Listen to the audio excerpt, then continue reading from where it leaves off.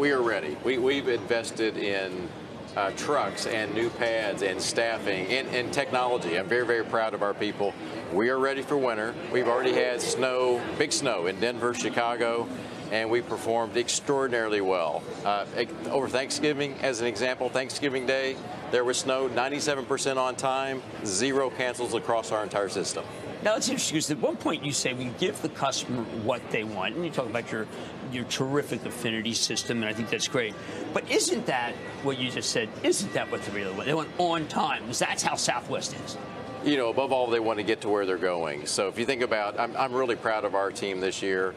We, uh, you know, we, we got a new order with Boeing. We got all of our jets flying. We're staffed. Uh, and, and, I'm just really proud of all the accomplishments. And we are taking a lot of momentum into 2024